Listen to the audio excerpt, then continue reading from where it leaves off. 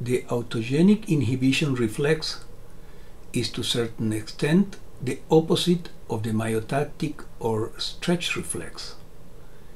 Unlike the myotatic reflex, however, the autogenic inhibition reflex, also recognized as the Golgi reflex, is a polysynaptic event. Its purpose is to prevent damage to a muscle that is contracting beyond its physical capabilities. When a muscle is contracting in a sustained manner, is because the alpha motor neuron connected to the extrafusal fibers of that muscle are sending instruction to the muscle to contract.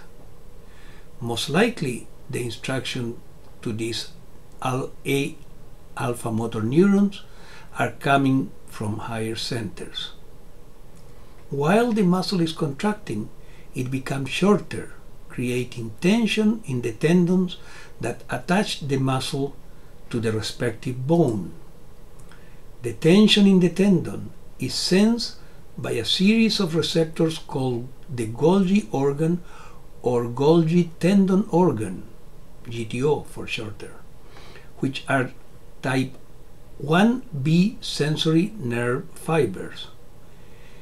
If the tension is too large, then the Golgi tendon organ fires and sends an action potential which, as all sensory information, enter the spinal cord through the dorsal root and in the gray horn synapse with an inhibitory interneuron, which in turn synapses with the A alpha motor neuron that connects to the extrafusal fibers of the muscle.